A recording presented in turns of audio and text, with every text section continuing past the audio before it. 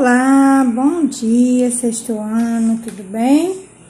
Como foi a semana de vocês? Foi boa? Espero que sim. Meus amores, vamos iniciar a nossa correção. É aqui na página 166, tá bom? Ó, a primeira questão. As fichas a seguir foram colocadas em uma urna. Determine a probabilidade de um sorteio retirarmos uma ficha cujo número seja par. É, lembrando, gente, que o todo, né, a quantidade de possibilidades total, a gente vai colocar embaixo, tá? E aqui vai ser o que ele pedir na questão, tá bom? Olha, então a gente tem quantos, quantas fichinhas? Uma, duas, três, quatro, cinco, seis, sete, oito. São oito fichinhas. Vai ficar oito aqui, ó. Quantos números pares? Você vai contar quantos números pares tem. Um, dois, três, quatro, cinco. Então, cinco em oito. Ou 62,5%. Certo? Você pode fazer assim também, tá certo? E dá você pode representar só com a fração e também você pode representar pela porcentagem. Tia, eu não sei como é que coloca na porcentagem. Você faz assim, ó, 5 oitavos de 100, que no caso é o 100%. Aqui é para você descobrir esse mesmo valor em porcentagem. Ó, 5 vezes 100, 500 Repete o 8 aqui. E vai dar 62,5%. É, mas você não é obrigado a colocar os dois resultados, não. Tá bom? Olha, é bom a gente saber fazer.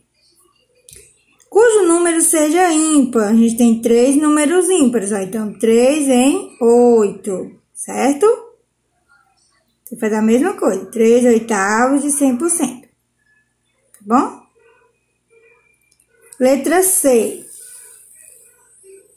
Cujo número seja maior do que 100. Ó, o número que é, os números maiores que 100 são quatro números, ó. 4 em 8.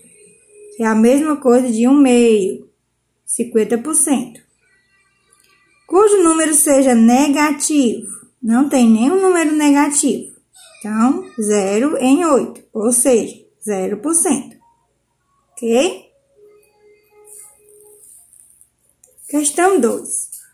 A senha para abrir determinado cofre é composta por três algarismos, de maneira que podem ser formadas combinações com todos os algarismos. Ou seja, a senha pode ser 00, 001, 002, totalizando mil possibilidades. Eita! Ao tentar abrir o cofre, qual é a probabilidade de que uma pessoa acerte a senha na primeira tentativa?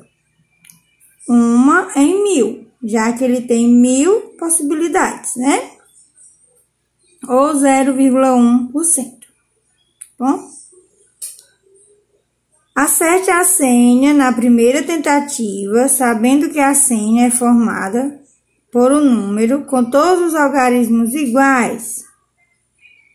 Então, no caso aqui, ele vai ter 10, uma em 10 chances, certo?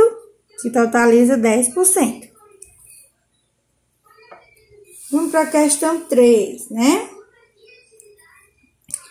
Kátia selecionou algumas músicas em seu computador para ouvi-las durante sua festa de aniversário. Foram selecionadas 47 músicas de pop rock, 32 de sertaneja, 51 música eletrônica, que serão reproduzidos de forma aleatória e sem repetições pelo software.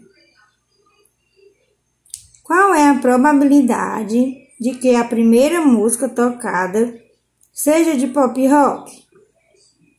Então, a primeira coisa que nós vamos fazer, nós vamos somar todos esses valores aqui, ó, 47 mais 32 mais 51, para a gente encontrar o todo, que é 30 e 30, né?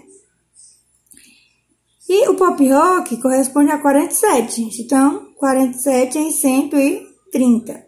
Aproximadamente 36,15%. Tá bom? É, e a probabilidade que não seja uma música eletrônica? Pronto. Dessas 130, nós vamos tirar a música eletrônica.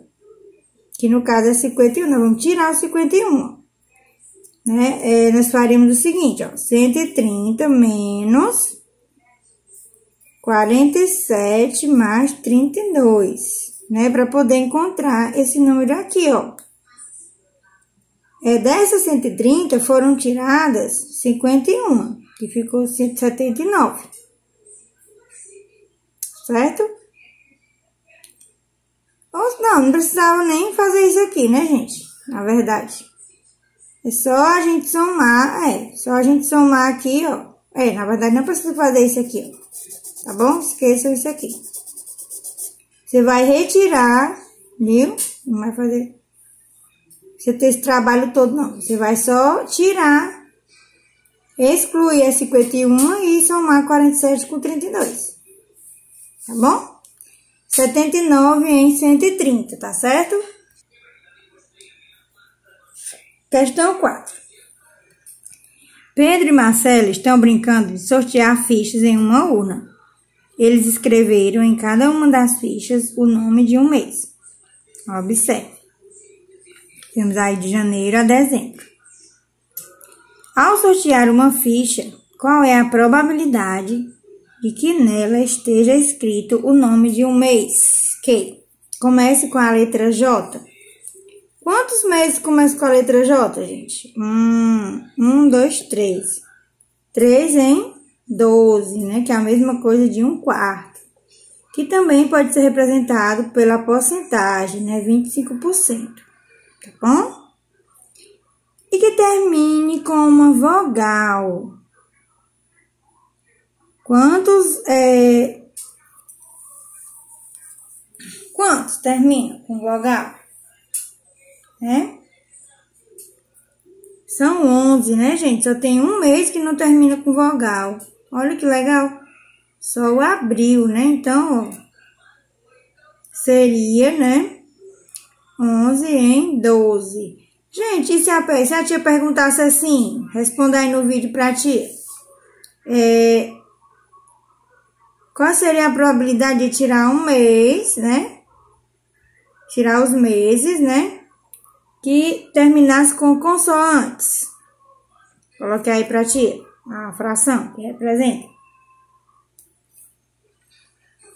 Questão 5. Em uma urna foram colocadas fichas numeradas de 10 a 49. Qual é a probabilidade de se retirar dessa urna uma ficha com um número ímpar divisível por 3? Pronto. O que, que eu te aconselho a fazer? Você escrever os números ímpares e divisíveis por 3, de 3 até 10 né? De 3, de 10 até 49. São os seguintes: 15, 21, 27, 33, 39 e 45. Então, ó, qual é a probabilidade? Primeira coisa, quantos números a gente tem de 10 a 49? A gente tem 40 números, que é o todo. Quantos números nós escrevemos aqui, ó? Que é o que está de acordo com a regrinha seis números. Então, vai ser 6 em 40. Simplificando, todo mundo por 2, vai ficar 3 sobre 20, ou 15%. Bom? Questão 6, né? A gente já vai estar tá mostrando aqui para vocês, ó.